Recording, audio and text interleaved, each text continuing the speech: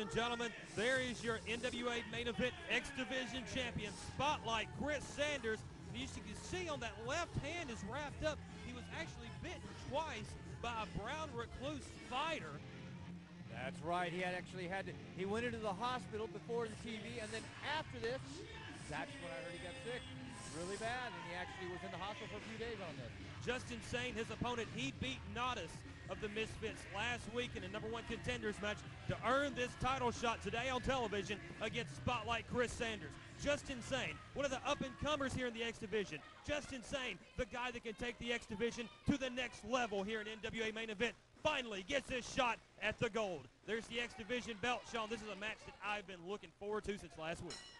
You really think Nadas is better than Chris Sanders? You're out of your head. No, you mean Justin? Justin, yes. You know who you're talking about. Shut up. Let me call the match. Ducks the clothesline. It's Justin. Justin now catches him. Oh, just kicked up. Caught him and then took him over with a Hurricanrana. Now takes him, backs him in with McCross. Reversal by Sanders. Justin in hard. Ducks the clothesline. Comes back across all the way through. Tilt-a-whirl heads and taking Sanders down. He's on fire here. Japanese arm drag there by Justin Sane on Sanders. And Sanders already tried to beg him off. Well, this should this should Oh, not. wait a minute. He's got that spider bit in hand and just rammed it into the top turnbuckle. And look at the pain, the agony on the face. He's he's crying. That's what I was trying to say before you interrupted me again. Justin Sane comes off big suicide dive over the top rope. Let's take a look at that again. It's Justin Sane with the somersault over the top rope right on spotlight Chris Sanders. Back to action. Both men on the floor now. Is Justin Sane back to his feet. Going to roll Sanders in the ring. Do you want to say something? I'm going to bring Joey in here with his Justin bat to nail you in the head. Justin Sane up to the ring apron inside. Forearm to the side of the head. This match should not take place.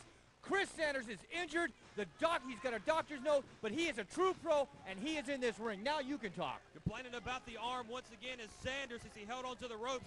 Justin turned his back, and then, oh, did you see that clothesline? Double him inside out. Coming up right after this match, fans, don't miss this. Our uh, correspondent, John, actually has an in-depth interview with Dominique. Going to talk a little bit about the stuff that's been going on with the Angels and Susan Morton, where this all came from back in their childhood.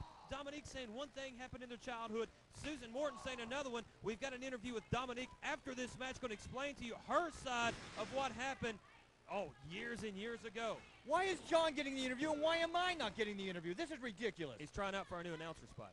What new announcer spot? The one that's going to happen when you get fired. Sanders back up to his feet now. Justin Sane in obvious pain. Working his way to the top rope is Spotlight Chris Sanders, the X Division champion, and then a drop kick right to the gonads and drops him on the top turnbuckle. Justin Sane, a chance to win the win it all here. The X Division championship goes for the Hurricane Rod and Sanders hangs on. Spotlight Chris Sanders pull pulling Justin Sane all the way back up to the top rope. What Sanders going to do here is they both struggle on the top rope. Sanders positioning Justin Sane. He comes off with a super bomb off the top rope.